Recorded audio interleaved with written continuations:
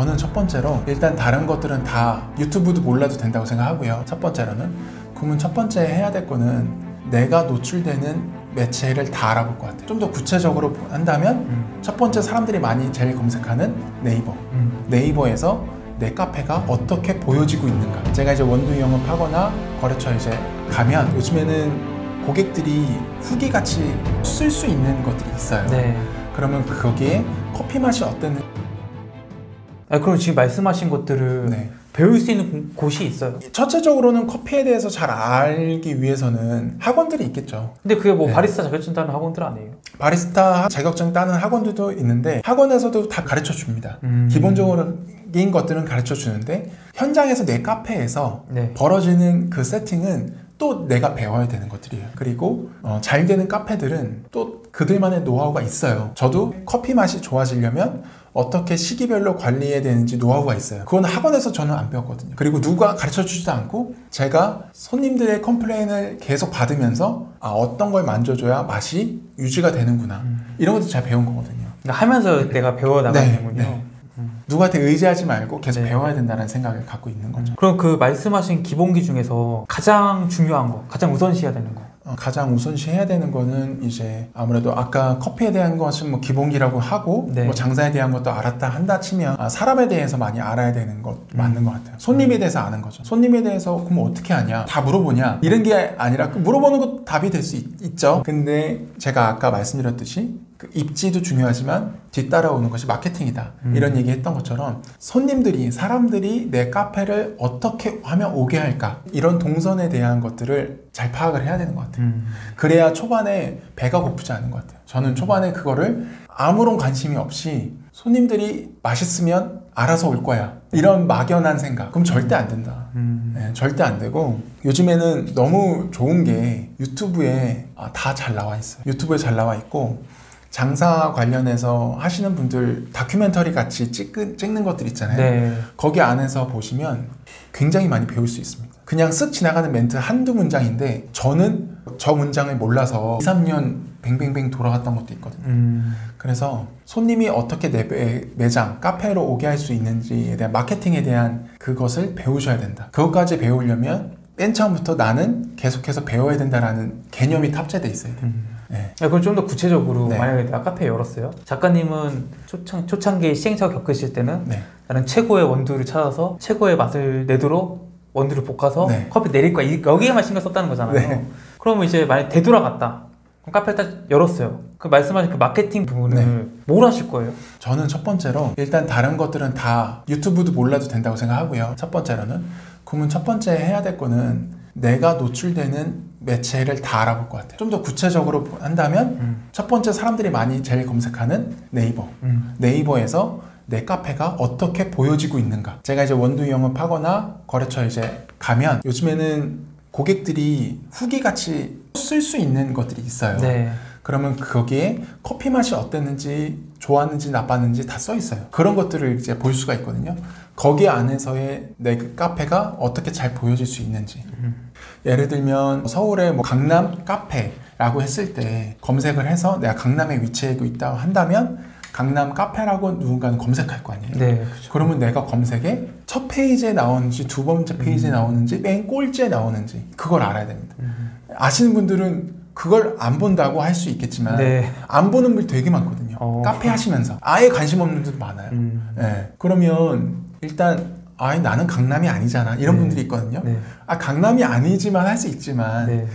최소한 검색하는 분들이 대한민국에서 그 동네에 다섯 명에서 열 명은 될 거거든요. 음. 어디든. 음. 그러면 그 다섯 명에서 열 명 안에 내가 제일 먼저 보이면 뭐 열에 다섯 명이 새롭게 온다고 한다면 그게 어디냐. 그렇게 해서 누적시켜 나가야 되는 거거든요.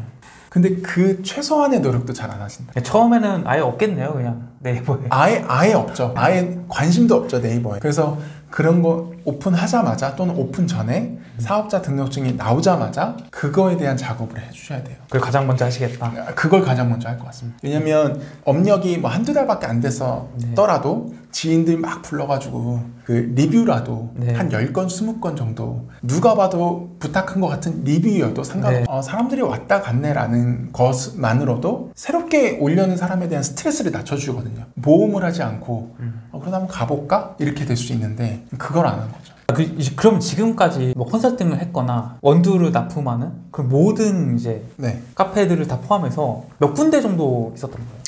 뭐 누적으로 따지면 100군데는 훨씬 더 넘고요. 네. 뭐 지금은 뭐 해서 50군데에서 100군데 사이 왔다 갔다 어. 하는 것 같아요. 그럼 이제 메인- 100군, 음. 100군데 이상의 카페들을 이제 들여다보고 관심을 갖고 컨설팅도 해주시면서 그 카페 창업을 성공으로 이끄는 거, 그 요소가 뭐라고 생각하세요? 카페 창업에서 네. 성공하기까지 자기가 목표한 바를 이루는 것까지가 성공이라고 본다면, 본다면 음. 저는 뭐 커피 맛도 맛이지만 카페를 운영하는 데 있어서 어려움이 있거든요. 꼭 매출만이 아니라 네. 사람과의 관계도 있고 직원 관리하는 거에 있어서도 엄청 스트레스 많이 받아 하시는데 그런 요소들이 다 있는데 그런 요소들을 어떻게 극복해 나갈 것인지에 대한 음. 것을 많이 배워야 되는 것 같아요. 음. 물론 직접 부딪히는 것도 있지만 뭐 유튜브도 많이 나와 있고 책도 많이 나와 있고 음. 주변에 동료들도 이제 많이 있으시면 너무 좋죠. 거기서 많이 배워야 되는 것 같아요. 음. 저 같은 경우는 카페 창업을 제 대학 선배가 아, 커피 한번 해봐. 나도 예전에 한번 카페 했었는데 좋더라. 너 한번 커피 배워봐. 막 이런 식으로 제가 시작을 했잖아요. 네. 근데 그분이 지금도 벤처 어, 사업하면서 지금 사업이 되게 커졌거든요. 네. 그리고 그분들도 작게 작게 시작한 걸 제가 알기 때문에 음. 근데 같이 종종 만나요. 서로 사장 대 사장이니까 규모는 말도 안 되게 차이가 나지만 네. 사장 대 사장으로서 어, 고충이 있거든요. 근데 그걸 서로 보듬어주고 서로 이제 극복하게 해주는 요소들이 있으면 음. 어떤 어려움이 있어도 넘어오는 것 같아요. 음. 뭐 재정적으로 뭐 지원을 해줬다 뭐 그런 건 없어요. 그런 건 없는데 그 어려움을 극복할 수 있는 요소들을 이제 받는다고나 할까? 음. 네, 그게 꼭 어떤 해결책이 아니라 그냥 버티는 때일 수도 있어요. 지나가는 때 그때는 멘탈이나 이런 것들도 잡아야 되고 하는데 어떨 때는 어떤 것 때문에 돈 이렇게 많이 벌었어요. 네. 이렇게 될 수도 있죠. 근데 대부분 그런 드라마틱한 거는 많이 없었던 것 같고요. 저는 그냥 꾸준하게 매일 일상적인 삶을 충실히 그냥 살아내는 거예요. 음. 계속. 그래서 책에도 쓰고 이제 많은 분들 만나면서 얘기하는 것 중에 하나가 영업 시간이 있잖아요. 카페가 영업 시간을 매일 365일 내가 언제 열겠다. 그거 지키는 것도 보통 일이 아니에요. 맞아요. 네. 음. 오늘은 진짜 열고 싶지 않을 때가 있거든요. 아플 수도 있고. 예, 아플 수도 있고 진짜 열고 싶지 않은 때도 있고 그날 공지 올려서 그냥 쉰다고 할 수도 있는데 음. 어, 꼭 이제 열어야 될 때가 이- 많죠. 음. 꼭 열어야 되고 음. 그럴 때 내가 이제 이렇게 세우고 에너지 다시 다듬고 하는 것들이 어떤 길을 성공의 길을 가는 데서 되게 중요한 요소인 것 같아요. 음. 네. 그러니까 실패를 대응하는 이제 그쵸. 능력이랑 힘 그런 네. 거가 됐네요. 어차피 뭐 늘 어려움이 있고 또 그 난관들이 생기게 될 테니까 그쵸. 그걸 다 일일이 예측해서 대비할 수 없는 네, 거고 네. 결국 살아남는 게 성공하는 거다. 살아남는 게 아까 그 카페 말씀하실 때 이제 그 라떼 말씀하시면서 네. 그 라떼가 카페를 오게 만드는 이제 요인이 될 수 있고 네. 그렇게 단골을 100명이라고 하셨나요? 아까?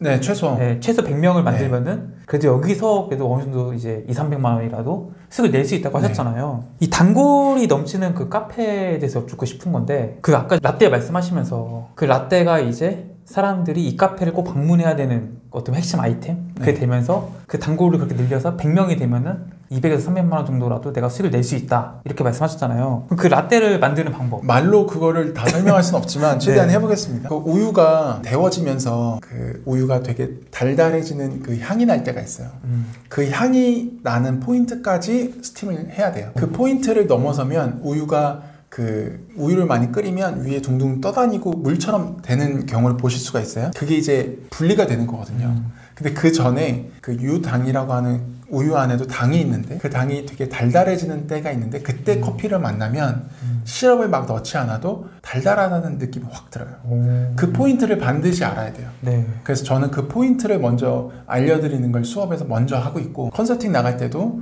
그 포인트를 균일하게 유지해 나가는 걸 먼저 하시라고 말씀드려요. 음, 그래야지 이제 겨울철이나 봄철에 또 가을철에 따뜻한 우유 많이 찾으시거든요. 네. 그럼 그때 그분들의 마음을 확 사로잡을 수가 있어요. 음, 그러면 겨울만 지날 때마다 손님들이 누적이 되는 거예요. 라떼 손님들이. 여름에는 대부분 아이스 라떼를 찾으시니까 그때는 에스프레소와 우유의 양을 정확하게만 맞춰주면 네. 맛이 유지가 되니까 그거는 뭐 말씀 안 드릴 거고 그거는 뭐 잘 하실 거니까 하시고 그리고 우유를 재사용만 하지 않으면 우유를 이제 데웠다가 조금 남을 수 있거든요. 네.